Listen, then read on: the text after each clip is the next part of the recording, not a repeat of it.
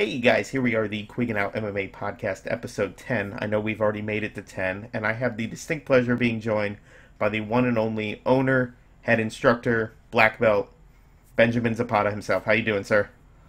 Good, good. How you doing, Matt? Not too bad. So, I appreciate you taking some time. I know this weekend's huge for you, and we'll talk about that a little bit later on why that's important. But I wanted to kind of back up and you know, you being the owner of Gracie Largo now, the school just opened up, I believe, three months ago.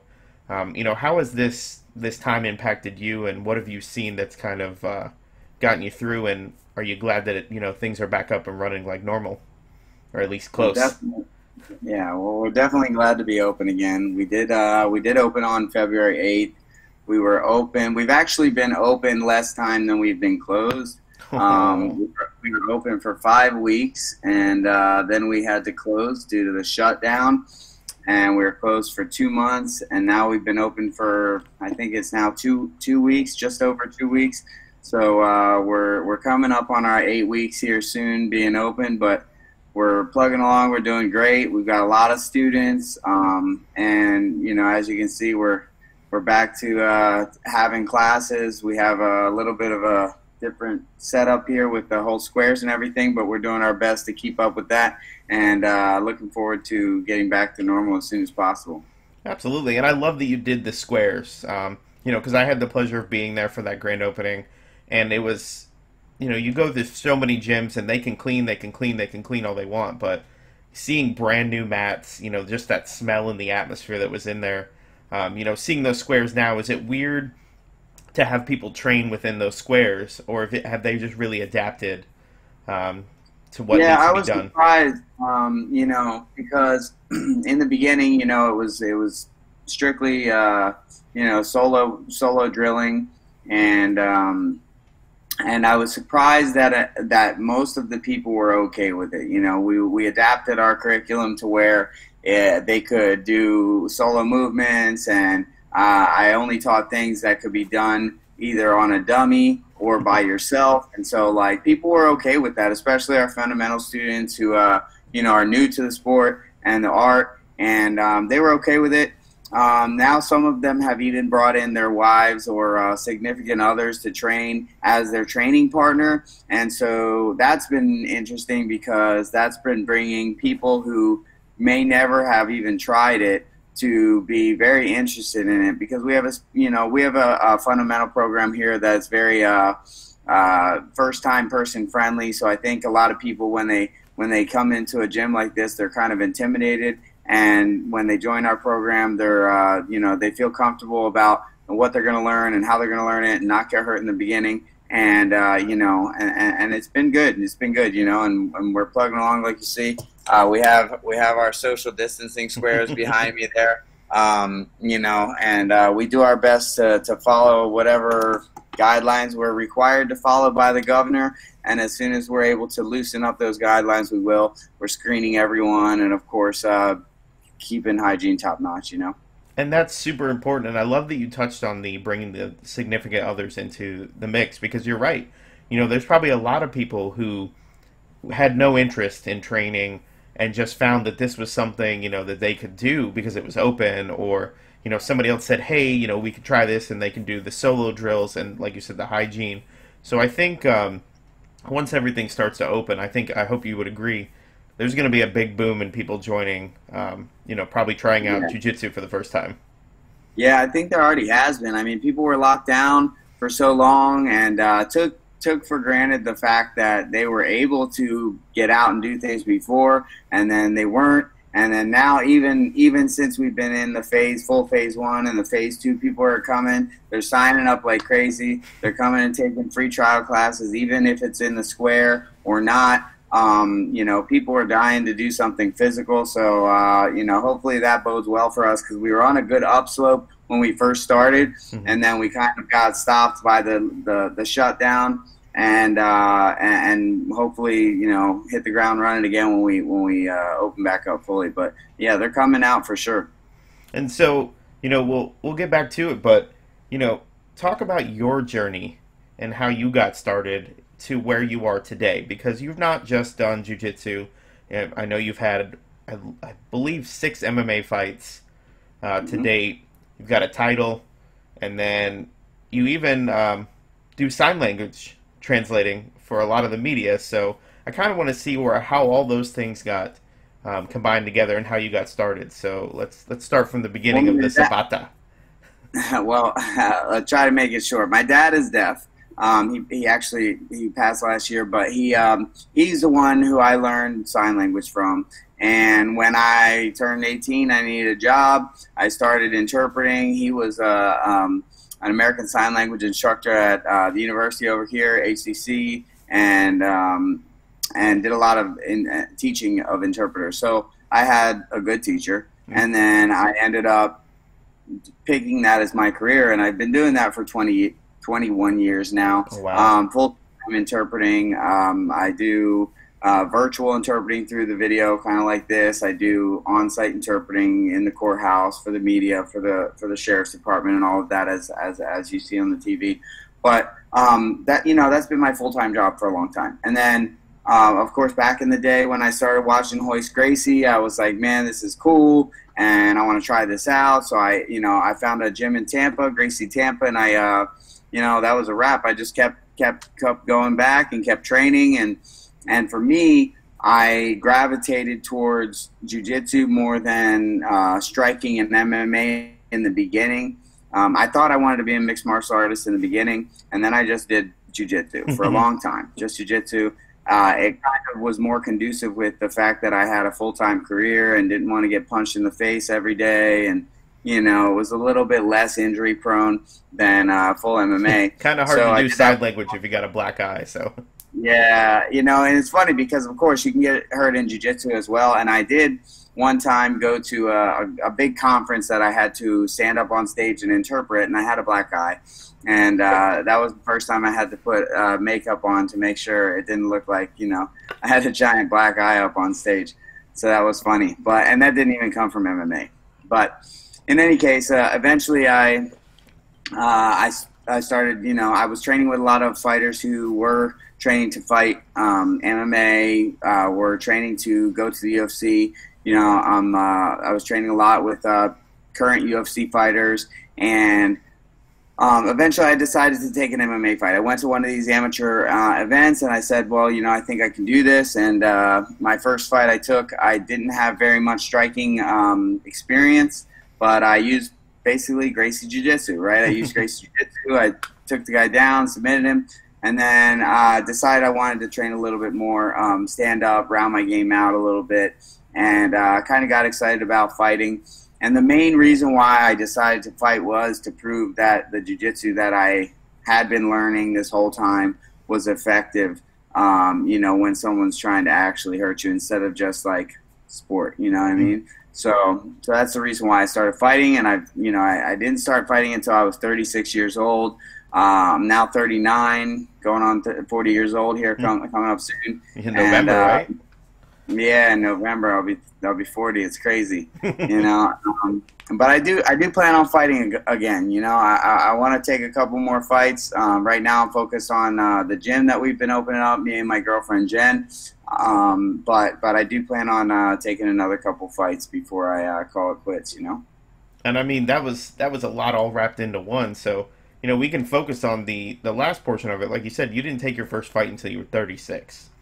You know, a lot of fighters they're kind of on the downswing on that. You'll see some exceptions um, where guys are just performing well beyond their, you know, what they should be um, in the societal views. So why, you know, at 36, were you like, am I too old for this, or did you just say, I'm good, I know what I'm doing, and you had been competing for a while, so Right, right. You know, I mean, I, I, I'm an avid competitor. I've competed a lot, and so I try to keep myself in, in the best shape that I can. And then the main reason why I think I had the confidence to do that is just because I joined uh, MMA in the amateur ranks, and I was already a brown belt in jiu-jitsu. And so I felt like my jiu-jitsu was uh, far beyond what the other amateurs who were fighting, they had a lot better striking than me. Don't get me wrong, and there was there's a lot of tough guys in the amateur ranks.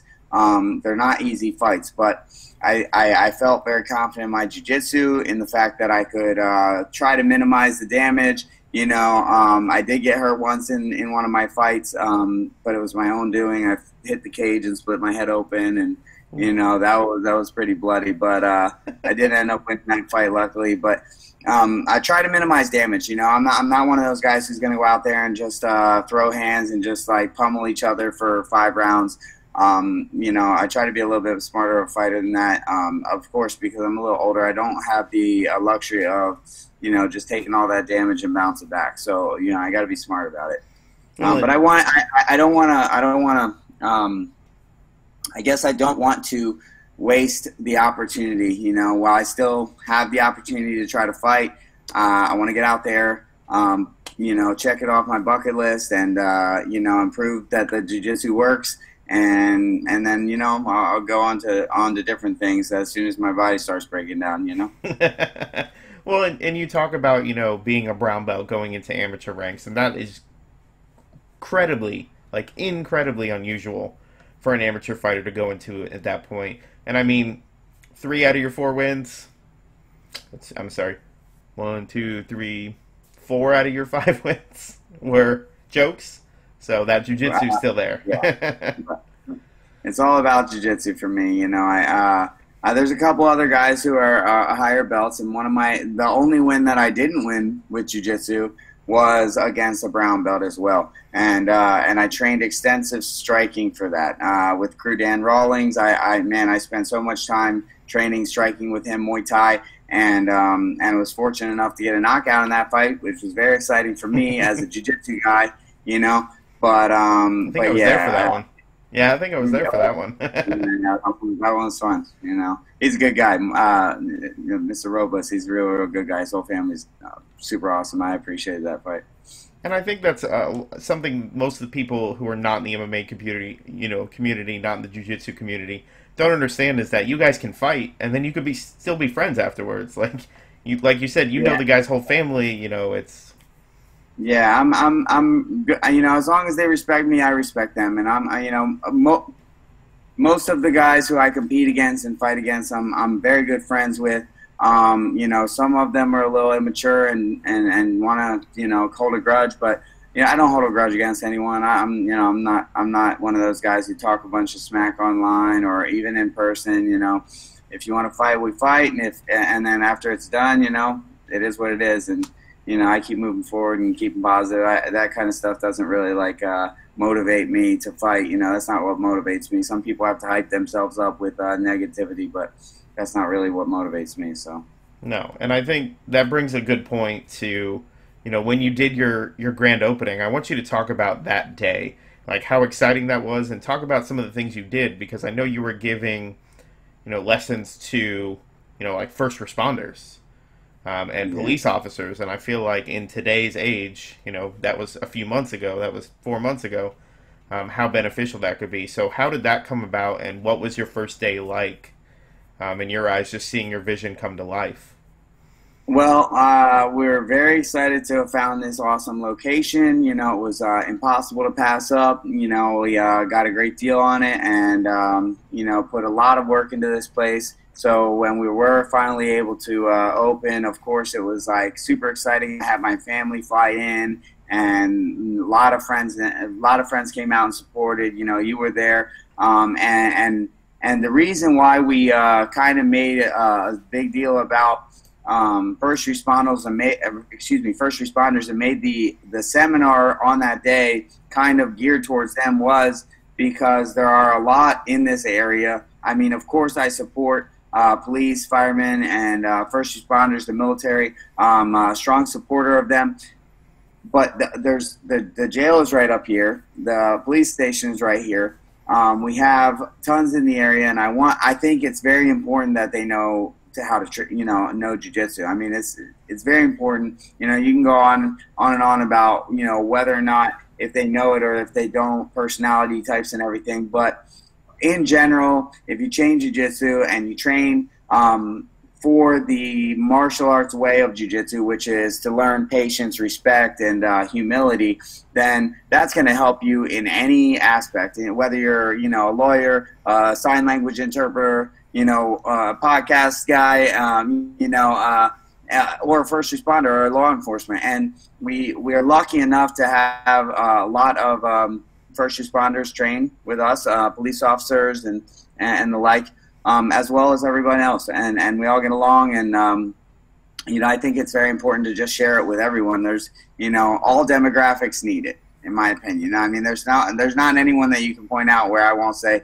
yeah, that person need, needs jujitsu. You know, I'm obviously a jujitsu fan, so I think everyone needs jujitsu, and uh, I think if you train it correctly with the right mindset, then it should improve your life overall. You know, I know I've improved from the beginning where I was out of shape. I was, you know, possibly uh, not not along the right path. And every every day, I, just like when you try to tr- improve your jujitsu, you try to improve your life and the way you behave and, and the way you see things. So I think that's very important, you know. And so for, for, for police officers, very important. Very important. Yeah, and absolutely. And, you know, knowing the, the benefits of jujitsu and it not just being a physical aspect. Like you said, it kind of sounds like it kind of saved you from something else. Um, you know. Yeah. I mean, well, you know, I was I was out of shape. I was eating wrong. I, you know, I I was just completely off track of what I could reach a, a my own potential. You know what I mean? And and as long as you're able to um, notice the fact that you make mistakes and you you know you, you, you, sometimes you do the wrong things if you can notice that and change it then that's the only thing that matters i mean i, I think that people can change and you know whether it's healthy changing or changing healthily changing mentally um, changing your mindset uh, whatever it is, you know, or just changing your jujitsu. Some people get in a rut where they're like, well, I know jujitsu, this is the jujitsu that I do, and they don't evolve. And so you got to keep evolving no matter what it is in your life and, and, and be open to improving, right? And so that's what I think jujitsu's helped me do with my own life and I want to continue to spread that to other people, even though it's not easy always talking to people who are a little resistant to that. They just want to learn jujitsu, how to choke someone, and that's it, and they don't want to change their mindset. But it's very important to have the right mindset, I think, you know. And I love that you brought that up because it is a mindset thing. Because you know, a lot of white belts will never make it to blue belt. They just they give up. They don't have you know they don't change the mindset. They're just focused on you know, why am I not learning? Why am I not learning? Why is it not working? And right. you know, I'll never forget. Probably about six, eight months ago, training with somebody, another white belt, and he just said, "I'm not learning anything. I'm getting choked out every five seconds."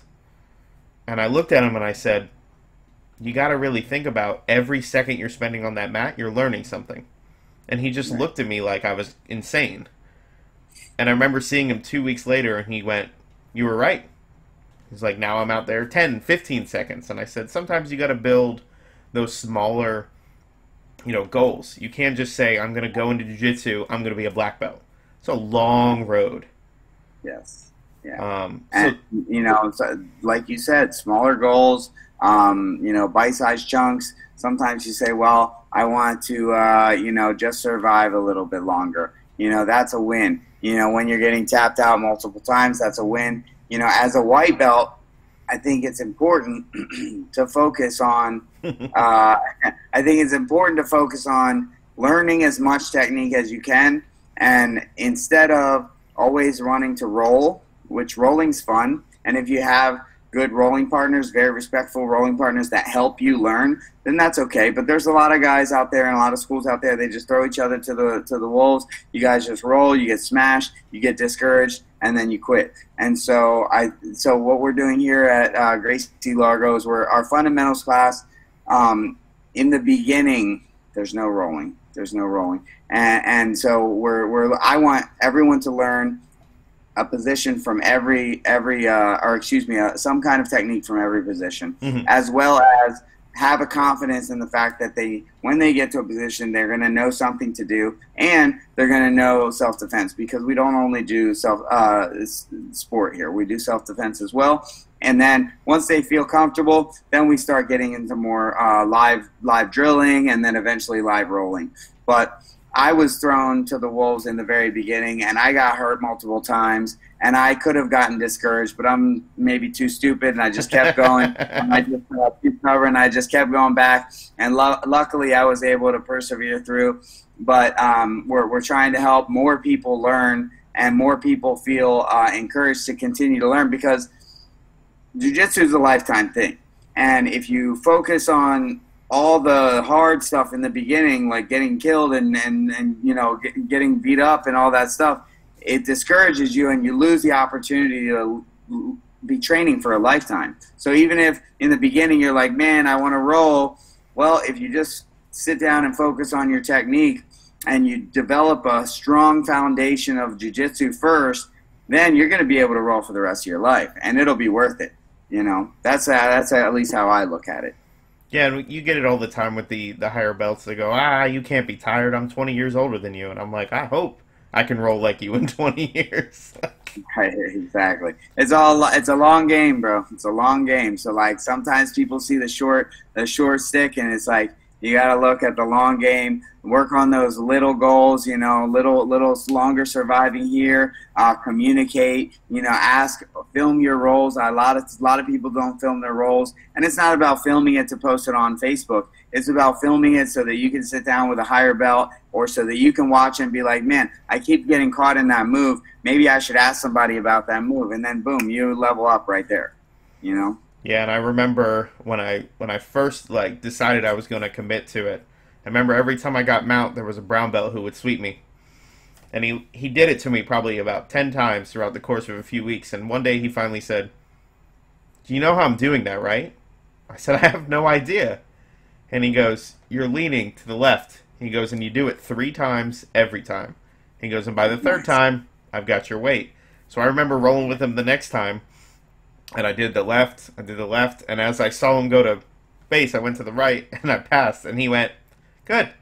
And for me, that was a win, whether anything happened from it, and I think, like you said, those little goals, you know, everybody wants to be a jiu-jitsu champion, you know, you, you've got those lofty goals, whether you want to admit it or not. You know, you want right. to be really, really Good. proficient at, yeah. big goals, you know. Yeah. Um, yeah.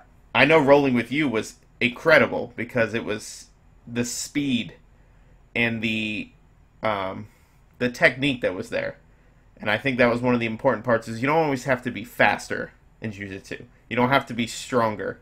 You just have to be smarter. Right. Yeah. And that's what drew me to jiu-jitsu is that it was more of a mental game for me. When I started, man, I could call myself a nerd, whatever you want to call it. You know, when I was in high school, I was all, you know, honors classes, nerdy kind of guy. I didn't hang out with the, you know, the the jocks or anything like that. I wasn't very um, I wasn't very athletic or uh, mm-hmm. you know sportsy. And so when I tried jujitsu, it, it kind of was like a puzzle to me. And and so I realized that even if I if I'm a little bit smarter or I think a little bit more, then I can beat the big athletic guys. You know what I mean? And so that's what makes me uh, that's what makes me excited when someone comes in who is unathletic and who's shy and timid and and they're but they're smart. Powering off. Excuse me, but they're smart and and uh, and then you can teach that person to become a monster. And you know, as long as you don't discourage them in the beginning and send them off and let, have them get beat up for you know the first five weeks, as long as you teach them to be smart about their jujitsu, man, they're going to become a monster. And then you know they're going to have so much confidence in the future. I, I think that's what's very important about. I see jujitsu as a game, like a video game. I always try to beat the next level. Always trying to beat the next level. You know. So I love that you've adapted it because for the most part they've called it human chess because you always have to be thinking ahead, but you literally adapted it to nowadays where you're like, all right, I got to beat the next level. I got to beat the next level. So yeah, it's like every time you get swept, it's like you're in a video game and that boulder keeps rolling down the hill and keeps smashing you. You know, and then every and then the next time you go through that level, you're gonna stop and let the boulder fly by, and then you're gonna keep going, and then finally you beat that level, and then the next level is even harder. that's exactly how I see it. And just while we're on that topic, no gi is the game, and gi is the extended map pack of the game, right? So You know, it's just more stuff to do. It's not, it's not a you know it's not a different game. It's the same game, but it's a lot more stuff to do. It's the expansion you know? pack, yeah. Yeah, I love it. I love it. You know. And that's that's the important part too, is because people think that a lot of jujitsu is only gi. So having the no gi aspect, so bringing those two together, um, you know, I'll watch the guys go from gi to no gi in the gym, and it's it's amazing to see the different techniques they have to use, the different mindset you have to have, other than being able to grab somebody's lapel. Right. Yeah, I'm I'm totally not uh, a supporter of the ar- argument of one is better than the other. I love doing both. You know, I, I, I I think I'm better at one than the other just because of how I started, but which was in no gi. Mm-hmm. I started doing more no gi, but I've trained so much gi up to this point that man, I love both. I do, and in my school we do it half and half, and and you know I encourage everyone to know both because it's it's not one or the other. Well, and you go back to the self defense technique again. If you're out in the street, you're you're hoping they you know if they have something to hold on to, but if they don't, that's where that nogi could really come into effect and you know potentially save your life. Yeah, yeah. It was you know once someone grabs your your jacket that you have on and you don't feel normal someone grabbing you. You're just not ready you know to just pull your arm out because you're sweaty and your arm slips out. That's not realistic sometimes you know. You have to be able to control someone with their clothes not be controlled with your own clothes and then if you're on the beach and you guys have board shorts, you can fight still too. You know? I feel like you're talking from experience. Is there a story behind that? No, no, I, I haven't. I haven't fought out on the street since I started jujitsu. I might have had a couple scuffles when I was younger, but since I started jujitsu, it's only been sanctioned MMA fights. You know, I, I've learned a lot of patience with jujitsu. I'm sure there have been times I could have, you know, done something, but I, I haven't. I haven't. Smart, smart answer. but I kind of want to talk about you know doing the sign language as a full time job. Like, did you tell them up front, or did they? You know, obviously you've been doing that for 21 years. Um, right. You know, what was the reaction when somebody somebody who didn't know you that's what you did on the side found out as far as you being jujitsu and doing MMA? Yeah, it's it's interesting because you know with my sign language interpreting job, um, I've been doing it for a long time, and um, a lot of the jobs that I do are confidential. They're just confidential, so I can't I can't talk about them. And and so with my Facebook, basically all I post is jujitsu stuff, you know, and people just see me as a jujitsu guy. But I have a full time job. You know, I still do it part time now, even though I'm owning I own this business. I still interpret part time, and um, and and that's you know I went full time job and I would go after in the evenings and I would train jiu-jitsu and on my lunch break I would train jiu-jitsu and if I got up early enough in the morning I would train jiu-jitsu and then I would go to my job. The only risk was is that if I hurt my hand or my finger or my arm, that's costing me money and I can't work. So jiu-jitsu was a risk to my job, which is you know part of the reason why I want to open my own academy. You know I I, I think it's uh, not only is it my passion but um, you know, I, it's a little bit more of a, a life insurance policy for me. Um, I, I, continue to love my job as an sign language interpreter, and uh, anytime I have available to go and do it, like the other day when I was called by the mayor and the chief of police to go and do that, I was available. I'm happily willing to go do that. I enjoy uh, doing that service, and and and you know, it's a it's a job that I enjoy. So um, a lot of people don't know it about me because I don't post a lot about it. Um, but but it's very very big part of me. Sign language was the first language that I learned. My dad is deaf, and uh, when I was a little baby, that's the first language I learned. So it's actually more. I'm more comfortable signing than I am speaking. So you know, uh, you know, if I were to be able to do this podcast in sign language, it would be a lot more comfortable for me. Really? Yeah, yeah, 100%. that's that's pretty amazing. I and I know that you had never posted about it, and I had known you for years, you know, on and off through the scene. And I remember watching a press conference, and I went, I just yelled Zapata at the screen, and my girlfriend went, "What?" And I was like, "I know that guy. Like he fights." And she just kind of looked at me, and I just remember thinking, "Oh, okay. You know, I want to talk to him about that." And I think that's that is exciting because it being your first language and you not being deaf um, is doesn't happen very often. Um, right. So, I, uh, my dad was a large part of the deaf community, and uh, now that I'm saying that, I, I feel like I should have been signing this whole podcast because there's a lot of my friends who are going to go back and be like, "Yo, what were you saying the whole time? You weren't signing." Um, but you know, well, I, if they ask me, I'll, I'll have to go back and interpret the whole thing. but yeah, when, when I'm on TV and stuff like that, that kind of stuff is public uh, public record, so I'm allowed to talk about that. I'm allowed to share it a little bit. Mm-hmm. Um, but uh, but most of the stuff I do is, is private and confidential, so I, am not allowed to talk about it, and so I just don't make a big deal about my job. And then, um, and but but I I enjoy it, and I, I know a lot of deaf people, a lot of deaf friends. Um, I have actually a couple deaf guys, um, purple belts, who are coming to train in my gym this coming up week. Probably Monday and Tuesday, they're coming to train in my gym and uh, I'm looking forward to that because uh, you know there's a large contingent of deaf people who um, to do jujitsu. Um, a couple black belts out there. You know, there's a black belt in Texas. His name is Garrett. He's a real cool guy, and he got me hooked up with this whole online um, Facebook community of deaf people who do jujitsu. And uh, so I've gotten to travel around and meet a lot of those guys and. Um, teach a couple people who uh, who do jujitsu in, in sign language as well, so that's cool. And you know, I, that's I, awesome. I, hope to add those kind of classes and have more deaf uh, members in my in my gym in the future. So how do you? What's the the biggest challenge then? Um, helping somebody train. You know, are you signing? Is it more of a kind of a hands-on experience, or kind of like yeah, I mean, like, so I'll start signing right now. So I'm signing at the same time as I'm speaking. So it's called SimCom, and it's not exactly the same as me signing without speaking, but I can sign and talk at the same time. And then when I'm teaching someone how to train, then it's more of like, well, just watch what I'm doing, and then I'll explain it after my hands are afraid because jujitsu, obviously my hands are going to be busy, you know, choking someone out or whatever. So I have to show the move first, and then second, sit down and, and explain what happened instead of talking at the same time. So it's a little bit different, um, but it can be done, and it's uh, I'm you know I, I have done it before, and I look forward to doing it again in the future. You know. And, and I don't think I not that I've ever seen it that anyone's ever signed during an interview. So this is super cool you know, not to, I think Matt Hamill probably would have been the last example that everybody knew. Um, like yeah, that's really amazing.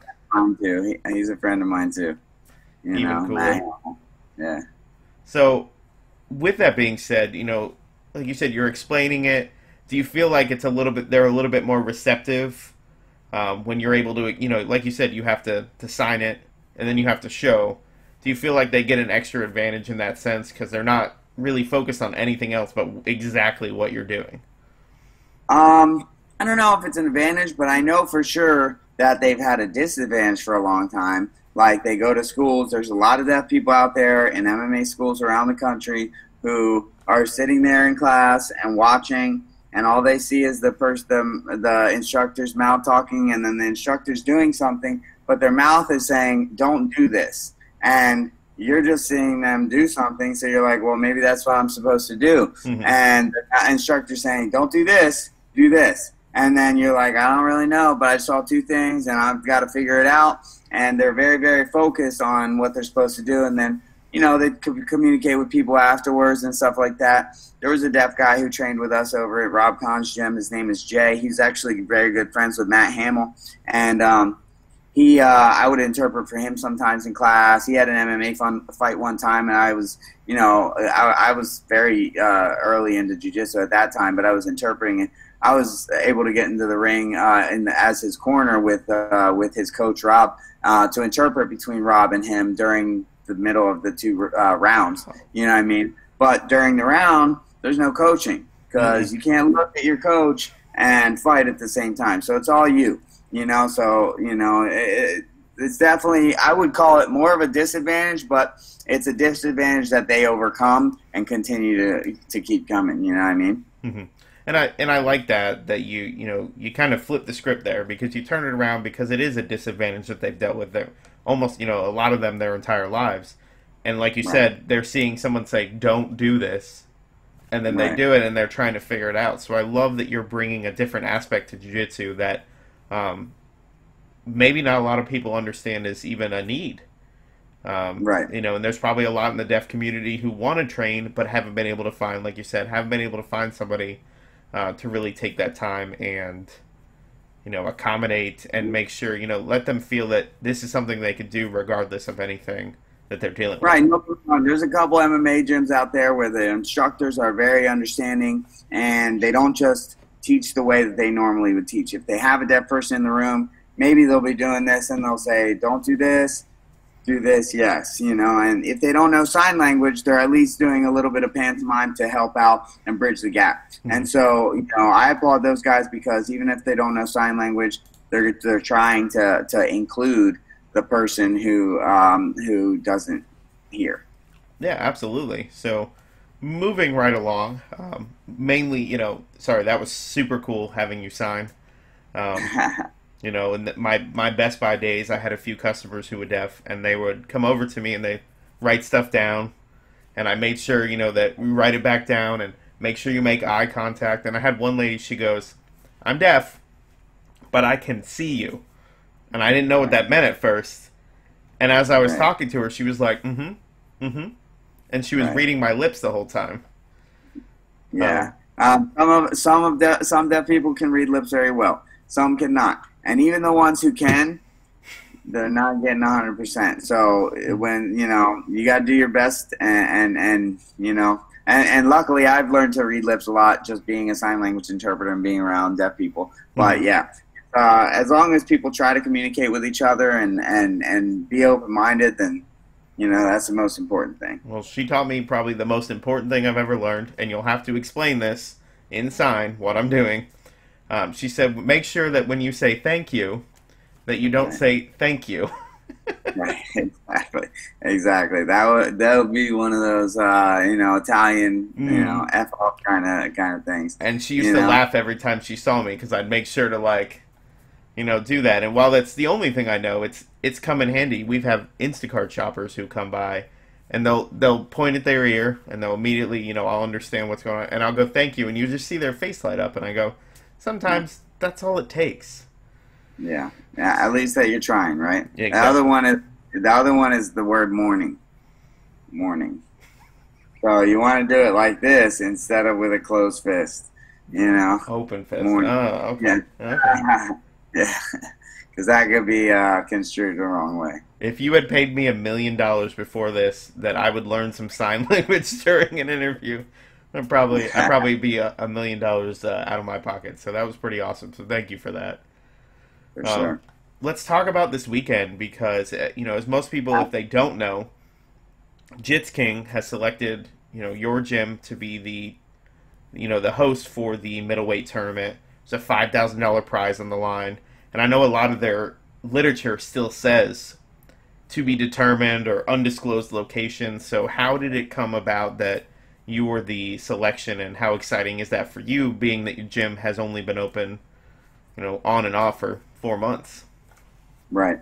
Um, well, we're excited to have it happen for sure. Um, I think this this is uh, uh, the reason why they chose this location. Might be a couple reasons, but um, I mean, this place is awesome, man. I mean, you come out, this place is awesome. I mean, this is I, I, I bought this place and we built this place to be my dream come true as a as a jujitsu uh, practitioner, and of course, I want the people who come in, the members, to enjoy it and feel at home. And you know, if you come into this place, it's awesome. We continue to improve this wall. Where uh, this wall is still blank, but we're gonna have more stuff up here. We're gonna keep decorating. We have the, you know, we have the mats here. We have, let's see if I can angle this right. We have the weight room over there. Mm-hmm. The we have the the the changing rooms. Um, super nice front lobby, and um, and up there. yeah, I do the same thing. I'm like up here. That uh, that view from up there is is awesome. So, you know, of course, the shots this weekend are going to be great. FloGrappling is going to get some awesome shots. Um, I'm going to be commentating as well as hosting. You know, so for the past two Jitzkings, I have had the pleasure to commentate with Patrick Hamilton III. Uh, we sat next to each other and commentated the past two uh, Flow, uh, Jitzkings on FloGrappling. I'm gonna hopefully continue to do that, and uh, I'll be commentating whether it's up there or over here or wherever we end up sitting. It'll probably be over here somewhere, um, but I'll be commentating. I'm I'm happy to be hosting it. I think this venue is uh, a good venue. It's close, you know, to the to the airport, close enough to the airport where people can uh, fly in, and uh, and and we're super excited to be hosting it. It's obviously going to bring some attention to the gym, and um, and, and you know we want to keep keep the ball rolling. You know, we're we're in this to to be here for the future. You know, we're not going anywhere. Yeah, and, with Florida doing the phase two last week, um, you know, kind of opening everything up. I know this originally was supposed to be a spectator spectatorless event. Wow, that is a that's a kicker of a word. So yeah. So from what I understand, they are selling limited tickets, a limited number of tickets uh, for the event, which is pretty exciting. Given um, you know you're hosting the first big event here. Um, yeah. It's one of the first tournaments that's back since the shutdown. So does that mean a little bit more to you, knowing that uh, it's going to bring that many more eyes and, like you said, uh, yeah, it was uh, it was a last minute thing for the spectators. So it's kind of we're scrambling here. I mean, I am. They're they're taking care of their part. Um, they're the organizers of the event, and they are selling 50 tickets, I believe, um, on Eventbrite. So if you're looking for tickets, go to Eventbrite. Um, I don't have the tickets, but um, contact Jitzking and everything. Grab your tickets. Otherwise, um, watch it on FloGrappling because you know the shots will be amazing, and you can always come in later and check out the check out the venue. But um, if you are interested in coming seeing it in person, um, check out Eventbrite. Uh, or if you can't find that information, contact me and I'll point you in the right direction. But we're excited to host it here. Um, we're going to be screening people, you know, just like we've been doing um, uh, for for our members and our people training. Don't come here if you're sick. I don't care if you paid hundred dollars for the for the ticket. Sell it to somebody. All right. If you're sick, do you have a fever, and you come here and I strand your head, I'm gonna ask you politely to leave because we don't want anyone getting sick. It's uh, you know, the one thing positive thing that we could say came from this whole pandemic is that people should continue to be and improve their um, consideration of others when they're sick, whether it be the flu, whether it be whatever.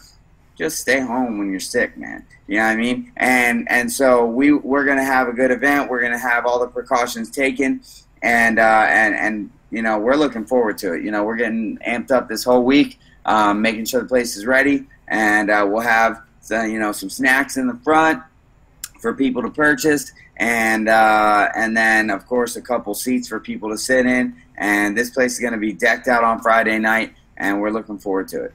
Well, and yeah, and you have something, you know, from what I can see, starts at six on Saturday, uh, goes until ten thirty. You know, we've got a sixteen man tournament, which was invite only. Uh, I mean, it really just adds even more allure uh, to the event itself, being that this, these aren't just people who are signing up, and you know, this is going to be some of the the most high level people probably in the world. Yeah, that bracket's awesome, man. I, I was I, I accepted the uh, the opportunity to host it before I even know about the bracket. But then when I saw the bracket, man, I'm super excited because that bracket's going to be fireworks, and and I don't even know who's going to win, but it's going to be exciting. Is there anybody in particular that you're you're thinking is going to win, or anybody that you've been like you're keeping an eye on? Man, they're all good, but I know that the last couple Jitzkings, the Tackett boys, have been killing it. You know, and and so you can't, you know, you can't overlook the Tacketts, Baby Monster. You know, you got. I mean, everybody on that card is good. There's a couple people in there I don't know, but I don't underestimate anyone. I do know, however, historically speaking, the Tacketts have been killing it, and they're they they obviously have something, some formula dialed in right. So I would watch out if I was everybody else and, and take them seriously. So how do you feel about, you know, hopefully this is going to be a marker really for, well, the hat came off. but it's going to be a marker for hosting future events. So obviously that's something you'd want to do in the future, correct? Oh yeah, we uh, we considered that when we when we opened this place. You know, we're going to be hosting more events here. Um, you know, if someone wants to reach out to us and, and, talk about stuff in the future, we're open to that.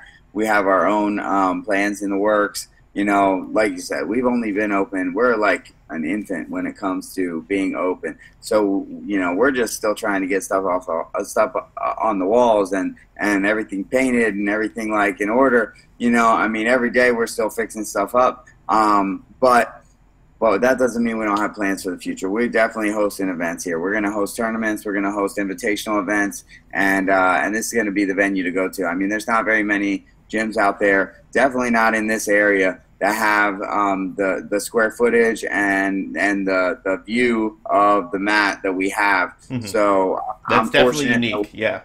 Yeah, yeah. You know, I mean, there's a lot of awesome gyms out there. Don't get me wrong. They got awesome gyms. They got good teachers, awesome students, awesome competitors, good mat space.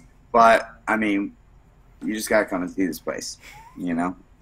And I love that because you know you being you are a black belt, and your gym is a white belt essentially. It's in the beginning stages. It's being molded. It's overcoming those new challenges, those new hurdles. So, for you, what what has been the biggest hurdle to overcome, other than the the obvious shutdown? Because I don't know anybody wow. that was excited for that. So yeah, you got me on that. I was quickly gonna say the easiest challenge was man the shutdown because we were like, man, let's get this thing running. We were working hard, and then boom, put on the brakes. And so we had to we had to pivot. We uh, we started teaching Zoom classes online. Um, you know, I was teaching Zoom classes out of my house while I let this thing just sit here unused. Uh, that was super sad time. But in the meantime, we we we didn't just um, sit idle. We put a lot of work into uh, into the gym, into the curriculum, into the programs that we um, are already implementing when we came back. So um, that was challenging, but it was it was a it was a room for growth, and so that was awesome. And so now, um, what's challenging is well the electric bill. That's one. right, the electric bill's uh, you know not going to be cheap in a place like this, but. Um, I mean, everyone's very nice. You know, all of our students are, our, our members are awesome. Um, I, I, I can't say anything uh, bad about it. I love coming here every day. I'm here all day, every day, and uh, and and I enjoy all the members. I enjoy teaching the kids classes. That's something that I didn't teach before. I have a 20 year old son, and I, you know, my ex wife had a couple boys, and so I've raised kids, but but I've never taught kids classes jujitsu. And so now that we have kids here, man, I'm enjoying it. We have awesome kids they're loving it, and uh, you know I can't say enough good things about all the members. So, um, I, and I'm very lucky to have my girlfriend Jen by my side. Otherwise, I wouldn't be able to do this by myself. No, you know? and that's actually what I was going to talk about next. Is how how crucial has it been to have Jen at your side? Because as long as I've known you, basically, she's been right there, and it's usually not even more than five feet away. Like it doesn't right. matter where you are. She's not following you, but she's always close by, going, "Okay, are we doing what we need to be doing?" Um, so yeah, how important is it? She's on top of everything, you know. Um, you know, we make a great partnership. Um, she's very intelligent. She's uh, she's got you know degrees. She's got lots of sales experience, lots of psychology experience. She's she's uh you know, like I said, if I if I didn't have her, I would still open my school, but it wouldn't be this size. You know, it would be a lot smaller, and I would have to start my start a little bit, you know, smaller, work my way up, and learn the ropes business wise. Uh, you know, I have a little bit of my own, but man, without her, uh, I wouldn't be where I was. So, so uh, we definitely make a great team, and you know, you know, I love her a lot. She's she's she's great. And again, when you were doing the the Zoom classes, you know, it was crazy because I'd watched some of those and having your partner be your girlfriend and be there right there and be able to do a lot of that. Do you feel like that yeah. helped you guys kind of grow? Would I do, what would I do if I'm sitting at home without someone to demonstrate moves on? You know what I mean? Um, you know, she was there as as my training partner. She's there here as my business partner, and uh, and, and, yeah, yeah, it's a, it's definitely a, a blessing that I have her. Yeah, absolutely. And I wanted to give Jen that shout out just because I've seen her run around um, especially the grand opening. I don't think she sat still for more than 30 seconds. Uh, she she rarely does sit still. You know, we both are always on the move, and that's what makes us, uh, you know, go where we go. Is because you know, although we enjoy relaxing just as much as the next person, we you know we're always doing moving and doing something, and and uh, and she doesn't stop. You know. Absolutely. So for anyone who has no jujitsu experience for you know, someone, you know, what would be the enticement for you to say, you know, the kind of the encouraging words to stick with it? Like, what would you have to say to somebody, you know, who may be out there going, yeah, you know, I was off for two months and now I feel like I've forgot everything. So, what would you say to somebody, you know, in a position like that? Well, first of all, they probably turned off the off the camera a long time ago if they have no experience. But uh, hopefully they're still with us because they're going to look for some insight. All right, and that's great. Um, so what I would say to them is, number one, keep at it, but find uh, find a place where you feel like you're learning. Find a place where you feel like you're learning, and and like you said about the small goals, don't try to take everything at once. You know, when you set your goals too high and and and you don't reach them in the in the certain amount of time, you got to set reasonable goals, right? And and and and make your make your progress that way. Sometimes you see people out there and like that meme where it's like the iceberg and there's all this work underneath. All you see is the tip of the iceberg. You know, people didn't get there by doing nothing. You know, the winners didn't get there by by winning everything. Most of them didn't. Mm-hmm. You know, there, uh, there's a couple outliers there, but for the majority of us, and myself included, I'm a slow learner.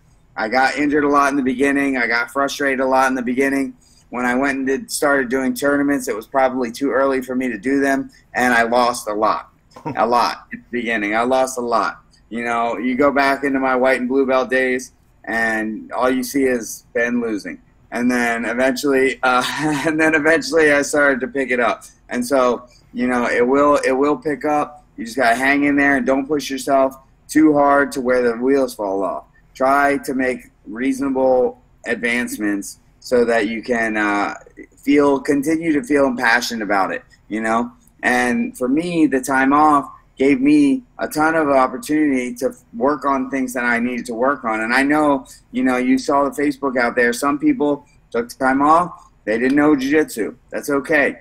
But when you have the ability to do something, you should do it. In my, in my opinion, when I when I when I wake up late, I look back and I say, "Man, I, I should have woken up early. I just lost the opportunity to do something." And and and you never get time back. So. Mm-hmm use your time wisely is all I'm saying. You know, stop making excuses. Don't, you know, say, well, I got this, that, and the other thing. Make, make, put it in your schedule. For me, when I, and that's just me, when I put something on my schedule, I have to do it because I, I, I don't want to let myself down. And so when I make something tentative, like, ah, oh, maybe I'll do that thing, maybe I'll do it, maybe I won't. A lot of times I don't do it. But if I put it on the schedule, or for me, accountability, when I post something online and I put something on Facebook, I got to do it now because I don't want to look like a liar. You know what I mean? And like when I was in the quarantine, I was over here lifting weights by myself. It was hard for me to get out there and do it by myself. But when I put myself on live video, I know nobody wants to watch anybody lifting weights for an hour. That's boring. I, I knew that. I but it was an accountability piece. But it's accountability. So I know when I put that thing on, I got I have to do the workout. You know, there, there's no other option. So put yourself in a corner to where you have to do what you have to do to get to the goals that you want to get to. Don't give up. You know, keep working. Don't give up. And I love that you mentioned the the getting up late. Uh, not last Saturday, but the Saturday before, did the same thing. I woke up two hours before I was going to, and I went. I'll go back to sleep. I have an alarm set. Well, I didn't have an alarm set, and I woke up three hours late, and I went. Like you, you can't have that time back, and it is an accountability piece. Oh. Yep. So you know, we only have so many hours in in our lives, and, and if you're not where you want to be, it, all I'm saying is, if you're not where you want to be in every aspect of your life, and you might be where you want to be professionally, but maybe not healthy, or maybe healthy but not professionally, or you know, family wise, or like right now, my dogs, I would rather train them. I want to spend more time training my dogs. So me working towards all my goals is getting to where I can check all of those off. And once I feel comfortable about all of those, maybe I'll sleep in a little and then I'll find another goal. you know what I mean? Do you teach the dog sign language? I, I have tried. I've tried. um, they, they know a few. They know a few. They know a few. I can't. I can't claim that I'll make a video and like show anything spectacular.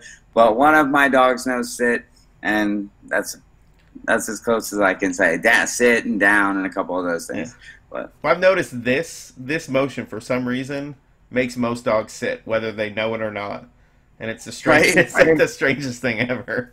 Right. so, in the last few minutes of you know just the talk about you're holding an imaginary treat in your hand. I think that's what it is. I think they just see that and they're like, they're "Oh, what's in there? I'll just sit and see what's in there." You know. Reverse psychology. I got this. And then they don't trust you after you realize they realize you don't have a treat. No, Sorry, I cut you off. No. Listen, in the last episode, um, I mean, Bert talked for 12 minutes and he goes, Sorry if I took over your show. And I went, That's why you're here. so, Well, I appreciate you having me on, man. It's awesome, and uh, I, I hope everyone comes out, watches the the Jitzking, and eventually come out and visit the gym. You know. yeah, and I'll make sure to put, when it goes up and posted, you know, I'll put the address on there, Gracie Largo, you know, the times, everything. I know the Eventbrite link is on there. I think the tickets say they're $75, and they are limited. So, anybody listening, you know, get them while you can. Hopefully, you know, I'm hoping it's going to be sold out just because this is a huge event. You know, we need to see how a tournament's going to run now, and I think the months of preparation and even you know I can see it behind you. It's it's not just talk. You have the squares laid out. You have the hygiene. You know, you have everything you need to keep everybody safe, and even the screenings, which is something we never thought we would do before. And Yeah, it seems great. like, you know, if you go to train, don't be sick. You know, plain Yeah. and simple. And I've learned that now, like when you say, "Oh, I'm feeling sick," people don't go, "Ah, come on." Now they're like, "Okay, stay home, stay, stay home." Exactly. It's changing. It's changing the uh, the paradigm of everything, and, and that's that's a good thing at least. You know what I mean? Um, you, you shouldn't be selfish. You know, I mean, there's uh, people out there who say, hey, you know, freedom and all that. Freedom includes uh, looking out for everyone else. All right, you, should, you shouldn't be selfish, and that's all I have to say about that. No, and thank you for that because that was perfect.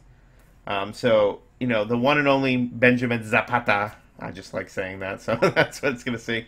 So what I want you to do is, since you wanted to sign so much, could you sign Quiggin Out MMA? All right, so I don't have a word for Quiggin Out, but it's kind of like freaking out. So this is the letter Q. So I would say Quiggin Out MMA podcast. Thank you very much for having me on your show. All right, thank you so much. On behalf of Combat Press, who give me a platform, Epic Jits Tees for making a cool shirt. I'll have it on next week. And definitely, man, I'm really excited for you. Um, this is a huge moment, especially being a new gym owner, but not just a new gym owner, but you know, being a professional, being proud of, you know, accomplishing your dream. Because I've known you for years, and you've always been saying you literally would knock people out and go, "Okay, I want to." Can I can I open my gym now? Like this is what I want to do. This is what I want to get to. So now you finally got it. So congrats Yeah, on that. super- And you know, good luck on Saturday, man. Thank you, brother. I appreciate it. I hope you have a great evening, and uh, I'll see you soon. Thanks, man.